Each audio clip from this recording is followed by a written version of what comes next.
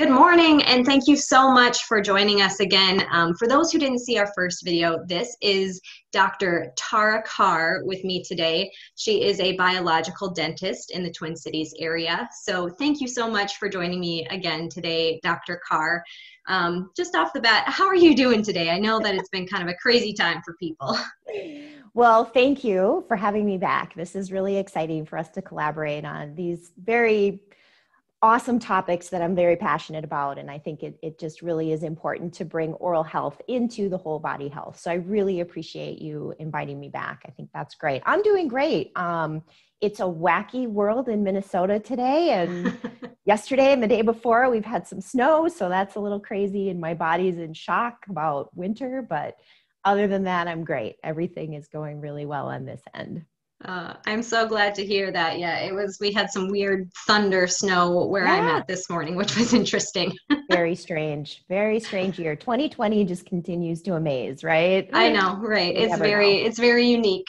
Yeah. Um, so anyway, for those of you who missed our last conversation, Dr. Kaur and I really focused a lot on um, basically prenatal and conception, children's health, like babies' oral health, stuff like that. And today we're going to move into talking a little bit more about conventional dentistry versus biological dentistry, a little bit more as a whole. So, my big question to start off for you, Dr. Kaur, is if you could just talk to us a little bit about the difference between the materials used in conventional dentistry versus biological dentistry and what issues we see arising from some of the more conventional materials? Sure, it's a great question. And it's a question that I would say 99% of the patients that come to our practice ask, right? Mm-hmm. What is what is the difference and what is biological dentistry? So just to backtrack a little bit. So, you know, conventional dentistry is really I think of it as like tooth carpentry, right? So you come in, you have a hole in your tooth, or you have a problem, the dentist fixes it up. They don't give you really much choice. They tell mm-hmm. you what they're going to do. Right. They don't disclose anything that they're doing as far as what the material is or a lot of that. And so, you know, they just go in and they fix the hole in your tooth and they're not really looking at your whole body, why that happened you know what's going on how to prevent that in the future. So biological dentistry really looks at the individual okay and what is compatible and what is disruptive for that particular mm-hmm. individual. And um, you know so we have a whole um, our tool our toolkit is very big because we use lots of different materials in our practice versus a conventional dental practice because everyone is so individual. So a big one that comes up is dental amalgam right Mm-hmm. So this is mm-hmm. the silver filling, the traditional silver filling. And you know, there's a lot out there. Most people understand now that there is mercury in these fillings. So it's over 50% mercury. There's also tin, copper, and zinc in these silver fillings. And so mercury is a heavy metal, and mm-hmm. heavy metals are extremely toxic. They are um, neurotoxins, is their main thing. So they affect the brain and the neurology, the nerves of the body. And they work synergistically. So if you have, say, a, an exposure to a little bit of lead, and then you have an exposure to a little bit of mercury, the two of those together is exponential. So it can really create a lot of disruption in the body and again everyone different has different levels of sensitivity to this. So we have tipping points. So some people can handle more toxic burden. Their body can mm-hmm. detox it and you know they can they can get rid of it. And it's not as much of a factor for leading you down the path to chronic illness and and imbalance.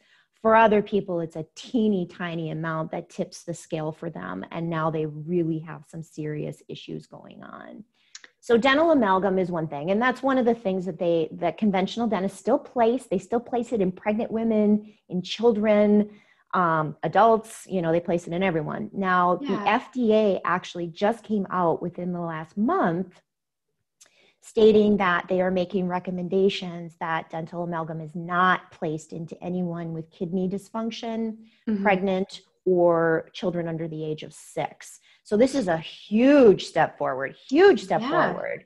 Um, and hopefully it will open up the conversation a bit around the toxicity of this particular material. Yeah, that I'm so glad that that's you. Did you say it was a no? It was an FDA recommendation yes, that just came out, right? Right. So yep. so exciting that that came out because it is yes. like it just kind of blows your mind that you know we know that we know that these are heavy metals and we right. are putting them very Next purposely in right into a part of our body that's very close to our brain even yeah. so it is something that you know we do have a lot of patients come into our office to see dr rob who are dealing with issues stemming yes. from heavy metal and i think it's really interesting that you pointed out too that it is synergistic so if you have um, that filling and you're exposed to a heavy metal elsewhere which mm-hmm. is they're everywhere right it's yep. everywhere it's very yep. common that that could you know be an exponential yes problem so very important that we start focusing on using something that is better for you as an individual in those absolutely fillings. absolutely there's two other things I'll say about this. It's a huge topic, and we can go into just dental amalgam, where there's a ton of information on my website too about that. But mm-hmm. um, one thing is that if we have overgrowth of yeast in our body or we have some sort of parasite in our body, they will actually bind up the heavy metals. So they actually take in the heavy metals, and I'm not quite clear as to how they metabolize them or why they do that, mm-hmm. but somehow they do that. And so then when you detox, right? So if you clear a parasite or you go through a yeast cleanse, now you're releasing all of that heavy metal into the body again, pushing it through the bloodstream, you know, through the kidneys and and coming out that way. So when you do a detox, if someone has a mouthful of metals or if you're trying to get rid of a parasite, it's really important to understand that you know if your if your client or patient is getting sick or having kind mm-hmm, of like mm-hmm. you know some sort of healing crisis you know it could actually be heavy, heavy metal toxicity that's happening so oh, wow, that's I always find point. that very interesting mm-hmm. um, and then the second thing is that these metals so this would be any dental metal and we'll talk a little bit more about crowns and partial dentures and implants and things like that but any sort of metal, dental metal in the mouth is actually going to create a galvanic current. So this is an electrical current. So mm-hmm. if we mm-hmm. have mercury, which is a metal, and we have copper, which is a metal, and they're amalgamated together in an oral environment which is wet with electrolytes, you get like a battery effect. So you get ions, electrons bouncing back and forth and exchanging between these metals when that happens, it creates this electrical stimulus. Mm-hmm. And again, for some people, that can be very disruptive to the brain and to the nervous system. Yeah. So, this galvanic effect is a very potent and very important part when we're looking at you know removing metals from people's mouths and from their bodies yep so i do have a quick yeah. question if that's all right yeah. Um, just with hearing that and you know growing up being someone who had braces is that yes. also something yes. that would be of concern then it is now with braces i'm not as concerned there are ways we can test the, the wires and the brackets for mm-hmm. individuals that might have more of a, a, preponderance to be sensitive to those metals okay. Um, but they're temporary excuse me. So it's not something that you're going to be having in your body for 10 20 30 years. Right um, right so and then the wires themselves are changed right? So you know you you have a specific wire that's doing something that's banded in and then yeah. they take that wire out and they put a new wire in. So we're not seeing some of the same corrosive um, okay. byproducts that we see with some of the dental metals that are in the mouth for a long time and um, but there is a concern and there are some people definitely that it is not you know it's not a, a, um, a supportive thing to mm-hmm. have going on in your body mm-hmm. and luckily now we have other options like invisalign so this would be a perfect right. springboard into something that we offer now a lot of conventional dentists will offer invisalign as well but it's basically a clear aligner system so you're getting an orthodontic orthopedic movement, but you're mm-hmm. not using metals to do it. Yeah. Now that's plastic. and there's concerns See, with plastics, right? Right. It's like, you know, what, how can we find an actual right. will we ever find something that's actual completely okay right. to put into our bodies but i do think that you know that's really where people like dr rob can mm-hmm. come into play where he does that testing on individuals to see if their body reacts to those specific materials. So being able to have the patients come in get tested and see what is the best option for them as an individual as someone who is completely unique. And that is exactly what I advocate for because I cannot tell you, you know, how important it is that it's not one size fits all, right? Mm-hmm. So for me, what I my body might accept and what what might be the best option for me could be totally the wrong thing for you.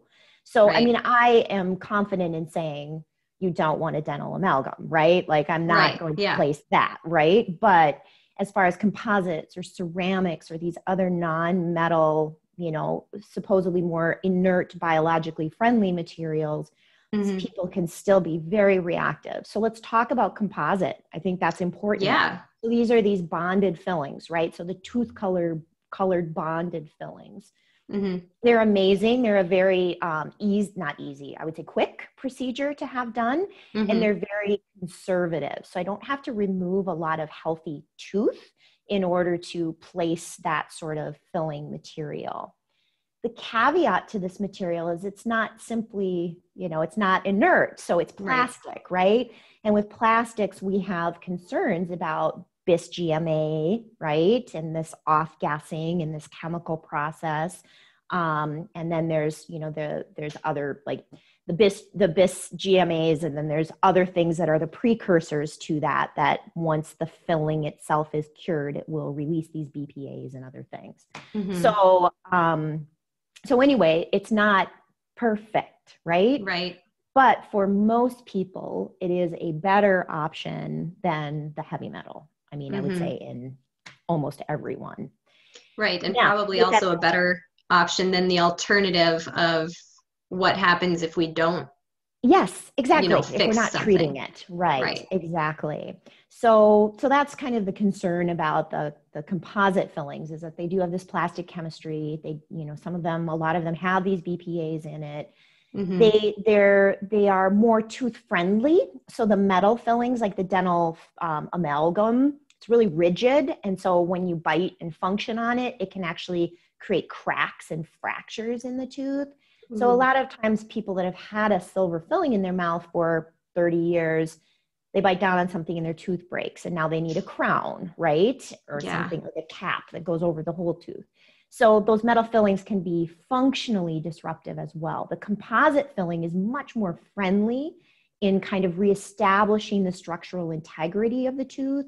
They're a little bit flexible, so they're not creating that wedging effect mm-hmm. and they mm-hmm. do tend to be um, easier on the tooth from that integrity kind of functional perspective but they wear out faster so you yeah. know the average length of this type of filling is like seven to ten years so if we're drilling into your tooth every seven to ten years every time we do that you have an increasing risk that there could be some complication some unresolved inflammation in the tooth or mm-hmm. some tooth death at some point so yeah. again, it's not perfect, right? Right. And I think all of that really highlights kind of going back to our first conversation together, just how important it is to for parents to be aware yes. of, you know, how what you're doing even before you conceive is going to be impacting your child's oral health. And then just keeping in mind how to raise children with good oral health, how to take care of your own oral health as an adolescent, as a teenager, you know, as you throughout your lifespan, just to decrease the need for these things. Absolutely. And I think I can't, I can't overemphasize that. That is just mm-hmm. crucial and critical to having oh, overall healthy body, right? But mm-hmm. having a healthy mouth and not having to go down the path of having dental restorations placed and replaced yeah. and and going down that path so yes it's very important but as an adult who maybe didn't have the opportunity right. you know you know i always go back to whole body health so if we see breakdown or we have maintenance we have to do in the mouth it's very important to fix that absolutely but we also want to dive into well why did this happen mm-hmm. is there clenching and grinding is there you know is the body chemistry off? Is the gut health off? Is there some sort of underlying systemic chronic inflammation that's going on? Is yeah, there, there nutrient deficiencies. Right. So you know as adults it can get trickier to kind of unravel that braid as to mm-hmm. why why am i here? Why is this happening? Every time i come in i have a cavity or now all my teeth are breaking or you know right. whatever it happens to be. So yeah. So, if you don't mind me asking, what yeah. are some of the more common issues that you are seeing in? I mean, do you see a difference in issues between, you know, your older adults versus your middle aged adults versus your young adults right now? Just like has dentistry and what we are learning evolved, and how each of those um, demographics might have differed in the way they cared for their teeth growing up? Definitely. So, you know, I see, I basically see a dichotomy, right? Uh-huh. So I see on one side, super healthy babies and kids that grow up to be super healthy adolescents who grow, grow up to be super healthy young adults and, and on into their lifetime, you know, mm-hmm. and, and that is very common these days. I do have a, a big section of the population of my practice where I am seeing that because there's this higher IQ and this advocacy for you know autonomy over what's going yeah. into your body and you know keeping the body healthy really working preventatively to set the child up for success mm-hmm. then i see the other side okay so i see the babies that have gut imbalance or have obstructive sleep apnea or have food sensitivities or detox pathway issues you know until that stuff gets corrected you're just going to continually see issues with mm-hmm. the mouth and when we start putting fillings in babies when they're two you know that you know it's it, it can be quick to correct it in some mm-hmm. cases if you catch it early enough but the longer that goes on the more difficult it is to sort it out and parents are busy and they don't always have yeah. a lot of extra money around right. particularly if they have multiple children and so it can be really tricky to say hey yeah we've got to fix your teeth but then the more almost more important issue is you got to figure out what's going on with the whole body you know yeah. so i see those two sides and when we have those babies that at two years old they're being sedated and having multiple fillings placed or teeth removed and then the permanent teeth come in and there's already damage because the enamel didn't form right or something happened there you know mm-hmm. that just those are the people that really have some serious issues as they move into adulthood so yeah and i mean it's, it just it sounds like it's so cyclical almost where if there's some underlying issue that's going to affect your oral health and we know that your oral health is also going to affect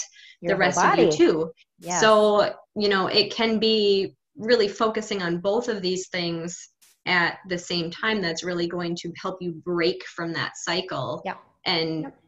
improve that overall health improve that oral health and just flourish Right. And I wish I could give you a prescription. Do A, B, and C, and you will mm-hmm. have no problems. But right. it's just not that way. Everyone is their own person, everybody's got their own vulnerabilities, their own mm-hmm. strengths.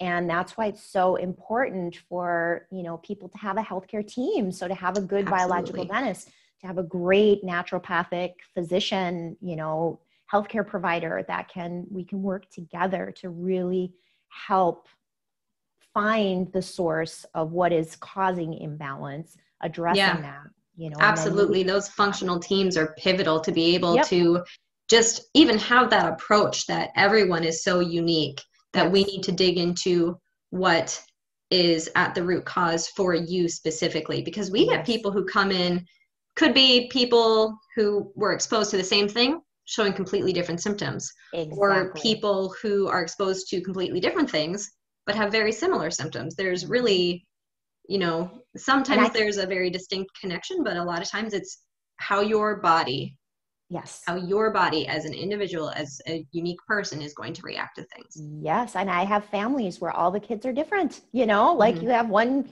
three kids that are doing great and one kid that has a whole bunch of oral health issues so right. and i'm sure you see that too with families where you yeah, know there's yeah. there's two kids that just no matter what you do they just always seem to have a challenge or a, a block towards establishing I mean, healthy wellness. Dr. Kaur, that that is me out of my me and my siblings. You know, my mm-hmm. my sister, my brother grew up no real big health concerns. I am the one who has autoimmune disease, mm-hmm. who has had these different hurdles and it's you know i'm i'm very thankful in the end for this right. because it's what led me to be who yes. i am and where i am today yes. but it is like just always a journey of saying okay so like what what influenced my body yep. specifically and how can i overcome it and so you know i think that just dentistry oral health in general always so important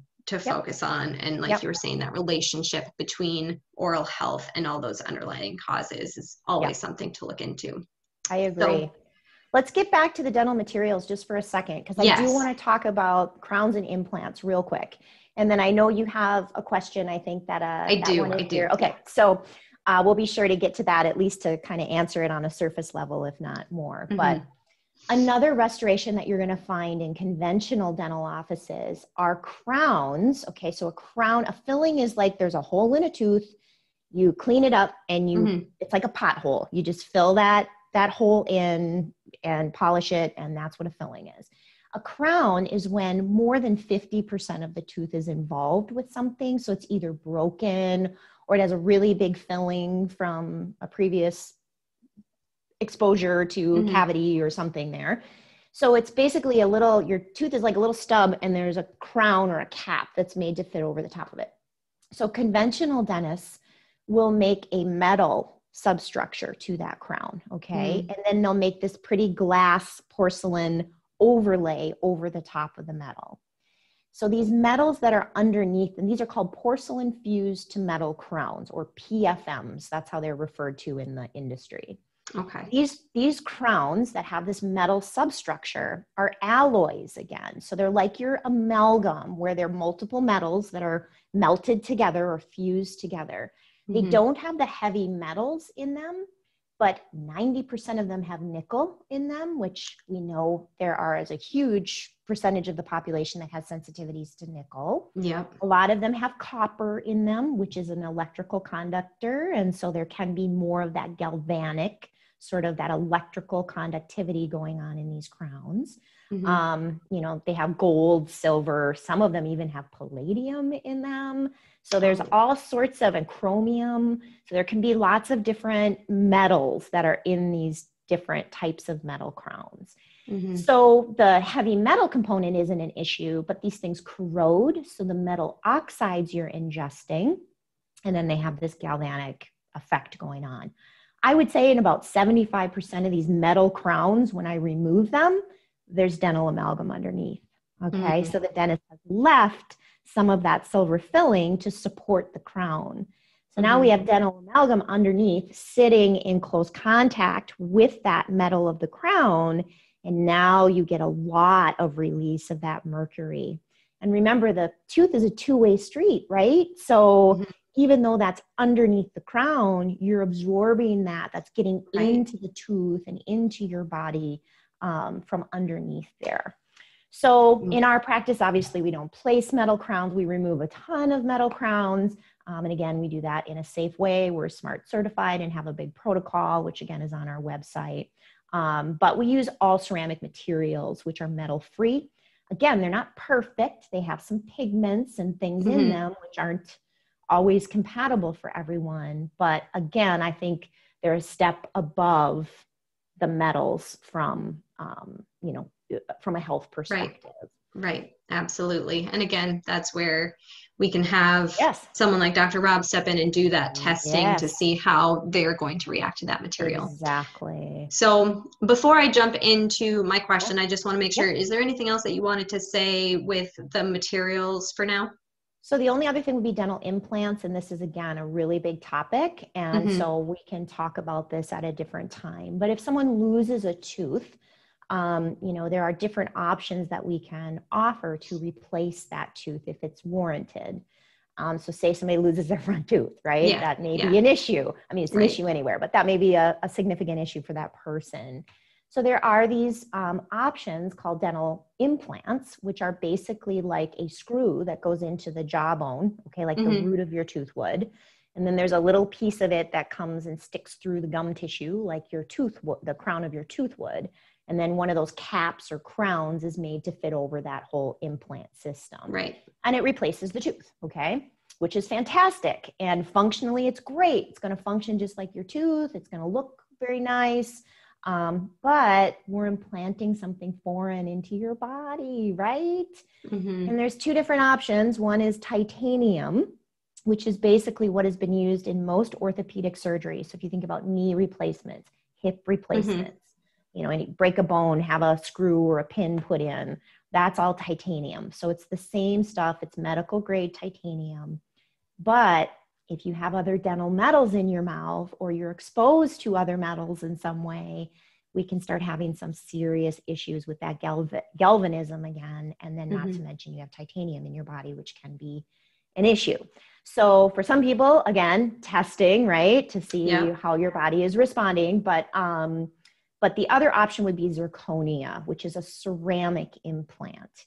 And this again is a little bit more like this is the wave of the future. We're getting away from using the metals in the body. It's not perfect, there's some limitations to it, but it is a nice option right now for people who get tested and can tolerate it.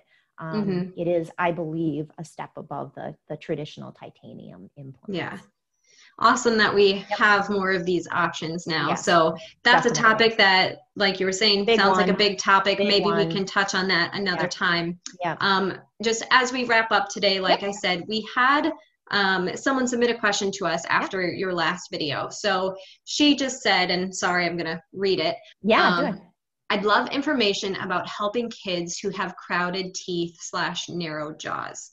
I've got one who is starting to lose teeth, and there isn't much space for adult teeth, and they already had a tongue tie released. Okay. So, any anything you can speak to about that? Yes. So again, this is a big topic, but let's mm-hmm. just kind of go glaze Brush across the surface. the surface, and we can get back into this at a different time. So, um, how the jaw develops, okay, and particularly we're talking about the upper jaw, okay, so kind of the part that's attached to the skull, all right, the mm-hmm. maxilla. That's what shapes kind of all of the mid face development. So your airway, the size of your palate, okay, the roof of your mouth, the width of your upper jaw. The lower jaw will basically follow the upper, okay? So we're really focused on that upper jaw. So what shapes that? Okay, so why why do some people have narrow jaws and some people have really wide jaws? Genetics comes into play. Okay, so you look like your mom and dad. You know, mm-hmm. I look like my mom and dad. Um, same thing with whole body. We might have predispositions to different things. It doesn't mean we're going to express it, but we right. might have these predispositions to things. So genetics does play a part, but functional um, the ability for the muscles of the mouth to work optimally is what's really going to grow the upper jaw. And what I mean by that is the tongue. Okay, so if this is your floor of your mouth and this is your tongue, that tongue has to be able to lift, it has to be able to go backwards, it has to be able to get up to the roof of the mouth and seal. And it's the pressure of the tongue in the roof of the mouth that creates that expansion. Okay, it tells the bone where to go. Mm-hmm. So if we don't have a tongue, say it's tied, okay, that can't get up to the roof of the mouth or function appropriately, we're not going to get that signal for the bone to grow. Mm-hmm. Now, a lot of kids have frenectomies, right? So even as babies, if we're tongue tied or lip tied and the baby can't latch, it can't nurse, or there's a lot of colicky stuff or acid reflux stuff, airway issues, frenectomy is absolutely the way to go, okay? But if the scar tissue forms right back where the initial the initial connective tissue was and i'm sorry if i'm not I'm kind of talking in dental terms so if i need to right. break it down let me know i think no i think we can follow so far so um, if that scar tissue forms where the connective tissue originally was you don't really have you, the baby might be able to latch okay mm-hmm. but you're still not getting that proper range of motion and right. function for the swallow and the tongue So if the frenectomy was done as a baby, a lot of times we need a second frenectomy. Okay. So when they're at a, a different stage in their growth and development, a mm-hmm. revision may be needed to that original frenectomy.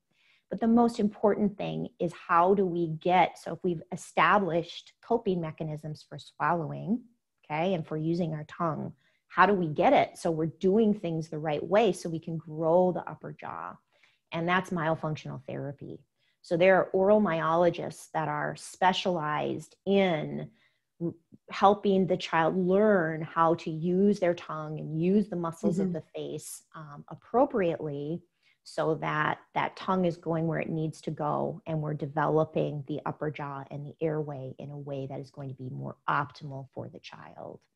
So when i see somebody like that okay you know what i usually find is that the, the frenectomy was done early Okay, there was no myofunctional therapy. Maybe the, the parent tried to manipulate the tongue a little bit after the surgery, um, and the child has just developed atypical swallow pattern, or they cannot physiologically get their tongue in the right position. And so the, the jaw is not going to expand. Now, there are cases where the teeth are too big, not too big, the jaw is too small. The mm-hmm. teeth are the right size, but they look too big for the jaw um, you know, and early interceptive orthodontics is key with myofunctional therapy. So what I mean by that is expanders. Okay, so something yeah. physical in there to get that jaw growing, but at the same time making sure we have proper muscle function um, at the same time. Yeah. So what I would do is I would refer out. That's not something I do in my practice, but I'm an expert at identifying it, and I have great resources to get people connected so that they can get the proper treatment at the right stage of development so we don't end up having to pull permanent teeth or having other issues. Yeah. Awesome. Thank you for all of that information. Yeah. I hope that that is really helpful to the patient who submitted that question. I yeah. think she'll find that valuable. So Perfect. Yeah, I think we're kind of at our time for today. Yep. But again, thank you so much for allowing me to connect with you and share this information with our, our with our patients. Um, just a heads up, our next video we will be talking a little bit more about food yes. and and um, oral health. So make sure to stay tuned for that. Um, but again, it was great talking to you, Dr. Kaur, and we will be seeing you again soon. All right. That sounds great. Thanks a million. See yep. you next time. Yep. Bye bye.